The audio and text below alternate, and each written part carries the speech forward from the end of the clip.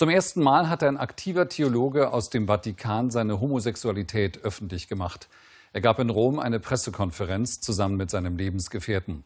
Zuvor war ein Zeitungsinterview erschienen, in dem der aus Polen stammende Priester die Position der katholischen Kirche als rückwärtsgewandt kritisiert hatte.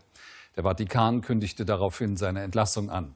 Morgen beginnt eine Synode zum Thema Familie.